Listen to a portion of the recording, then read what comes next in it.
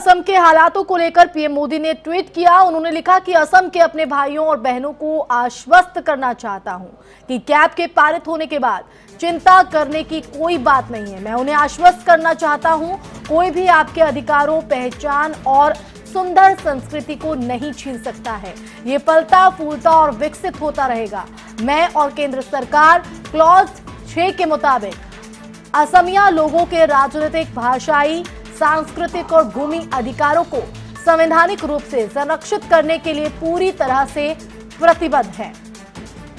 तो ये वो ट्वीट तो जिस तरह से नागरिकता संशोधन बिल को राज्यसभा से भी मंजूरी मिल गई है, उसके बाद अब संसद के बाद संग्राम सड़कों पर देखा जा रहा है। पूर्वोत्तर राज्यों में मुखर होकर लोग इस बिल का विरोध कर रहे हैं, जिससे अब इस स्थिति को देखते हुए पीएम मोदी ने खुद ट्वीट कर वहाँ के लोगों को आश्वस्त करने की कोशिश की है। साफ़ तौर पर उन्होंने कहा कि असम के भाई बहनों को डरने की ज़रूरत नहीं है।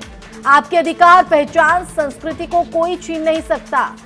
तो असम के लोगों के हितों की रक्षा होगी। मैं इसको लेकर पूर्वोत्तर राज्यों और स्पेशली असम के लोगों को आश्वस्त करता हूँ।